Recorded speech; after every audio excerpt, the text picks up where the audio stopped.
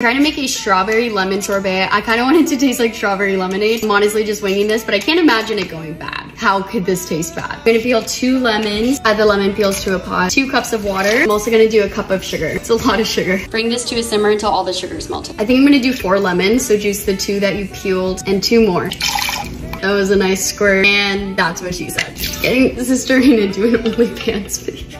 I'm in the splash zone. I have an idea for the ones I didn't peel. I'm going to put the sorbet into it, so I need it to kind of maintain its shape. I'm gonna juice it this way. Flatten out the bottom. Be careful not to cut too much. It's about to be so cute. I'm gonna try to get the insides all out.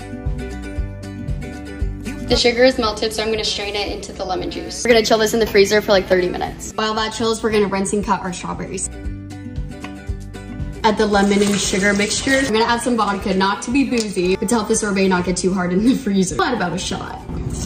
Maybe a little bit to be boozy, just a tad. We're gonna blend this up. Strain it one more time. I want it to be so smooth. That is so good. You also can taste the vodka. Chill this for another 30 minutes. It's time to actually make it. I'm this ice cream maker. You can also let this get harder in the freezer if you were to freeze it for like an hour or so. I'm way too excited to do that. A little bit of lemon zest. So cute. It tastes just like strawberry lemonade, obviously. Exactly what I wanted today.